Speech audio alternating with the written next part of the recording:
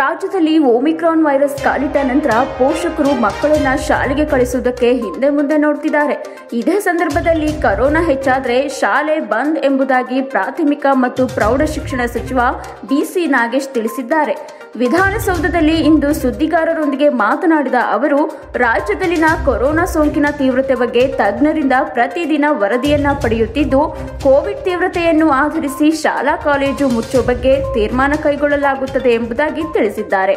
ಸದ್ಯಕ್ಕೆ ತಜ್ಞರು ನೀಡುತ್ತಿರುವ ವರದಿಯ ಪ್ರಕಾರ ಯಾರೂ ಆತಂಕ ಪಡುವಂತೆ ಕೊರೋನಾ ತೀವ್ರತೆ ಇಲ್ಲ.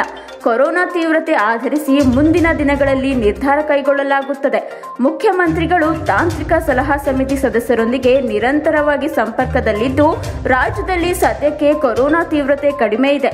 ಆದ್ದರಿಂದ ಪೋಷಕರು ಯಾವುದೇ ರೀತಿ ಆತಂಕ ಪಡುವ ಅವಶ್ಯಕತೆ ಇಲ್ಲ ಎಂದರು.